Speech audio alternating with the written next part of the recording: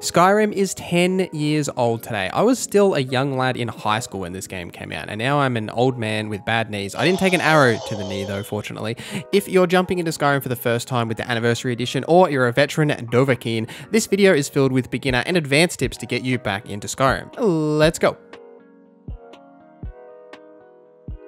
This video is brought to you by you. If you have ever played Skyrim, I want you to let me know in the comments down below how many of these tips you didn't know. There's plenty of tips. I think we've got like 30 tips in this video. Let me know the ones that you didn't know down in the comments below. Maybe there's a prize if you didn't know any of them. Who knows?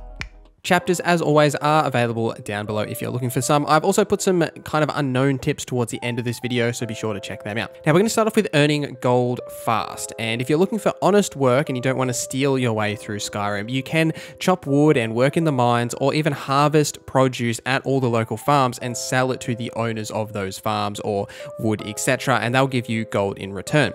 You should be picking up most of the gear that you find out in the world, not everything, because there's a lot of weighted things like shields shields and armor that is pretty heavy, but braces and boots and you know steel daggers, weapons that are really light that have a high value, definitely pick all of those up. Before selling these goods, however, go to a beggar in the town and give them one gold. This will give you the gift of charity buff, which increases your speech, which will then mean you get an extra 10% gold when you are selling these items. So it's just a good way to make some extra gold. And also make sure you grab a companion as early as possible as well, because they can basically be an inventory mule for you and just carry around all of your goods that you don't want to carry around yourself.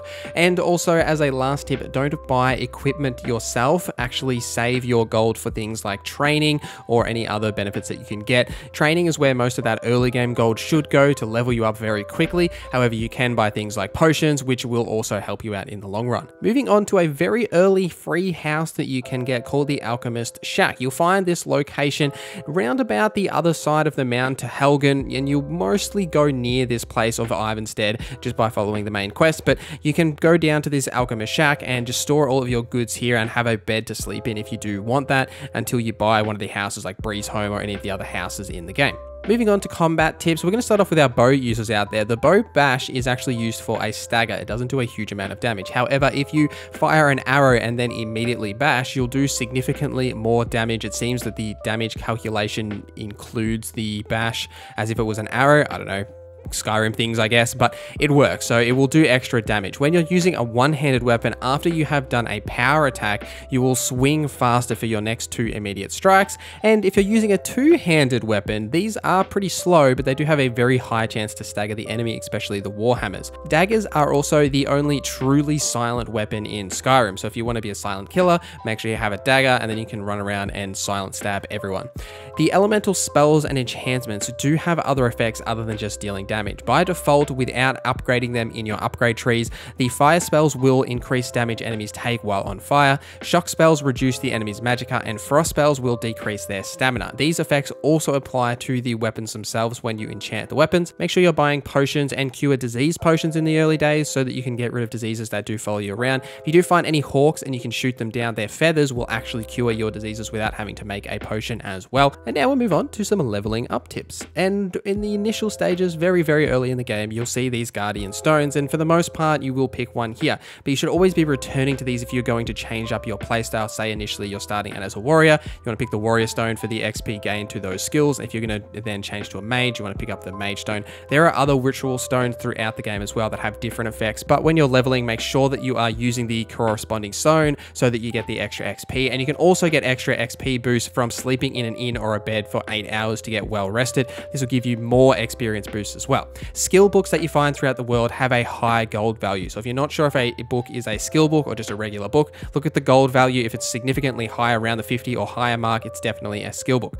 Magic skills only gain experience if there is an enemy around, even restoration spells. So you have to make sure there are enemies around, then you'll actually gain experience in those spells so that you can keep leveling them up. And don't ignore crafting and enchanting lines as well. They can help you gain so much more of a head start to the enemies you find throughout in the world and choose a play style initially. Stick to some kind of a concept, whatever it may be. It doesn't have to be, you know, the stealth archer that everyone loves. I've been playing with a one-handed weapon and magic in the other hand initially is my initial play style, leveling up destruction and one-handed skills as well as light armor. You want to choose whatever your initial skills are going to be and hard focus on them so you can level them up quickly, increase your combat power overall so that when you find those high level enemies as they level up with you, you can actually fight them kind of 1v1 without too much cheesing or pausing the game and just smashing down a bunch of food. And questing tips. Now, it's a common practice in Skyrim, but I would highly suggest you not to fast travel.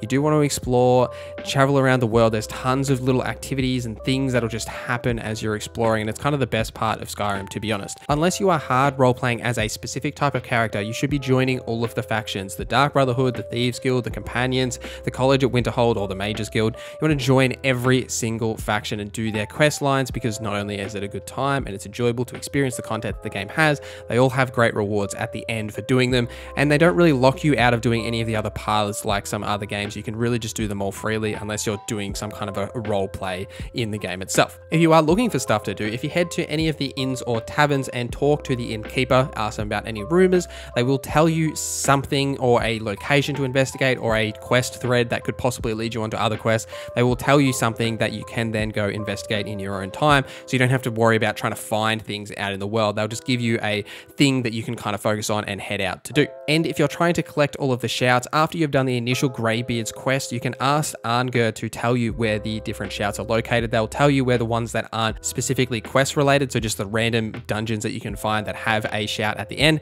they'll tell you where you can find all of those. And it's time for some secret tips. Now, you can view anyone's inventory as pickpocketing without taking anything, and it's not technically a crime. Don't ask me why, I didn't make the game, but you can pickpocket anyone and not take anything, see what they're carrying without it actually being a crime, even if they're directly looking at you. It's only once you take something from the inventory that it's technically a Stop. crime. It's also possible to have infinite stamina and be able to infinitely use power attacks and shield bashes and never run out of stamina because it only needs one stamina in order to be able to do this. You do this by crafting either the vegetable soup or the venison stew, which by the way, you should be crafting food. It's uh, really valuable for you to use rather than potions and some of the other effects it can give you. But these two foods will give you a stamina regen for 720 seconds. Because you're always going to have at least one stamina, you technically have unlimited stamina, so you can constantly cast power attacks or shield bashes. And when you're mining, you don't want to press E or whatever the button is for your keyboard just to mine on the mine. It is a very slow animation. It takes forever. If you equip the pickaxe and just swing at the iron ore, you will get all of the resources without having to go through that slow animation.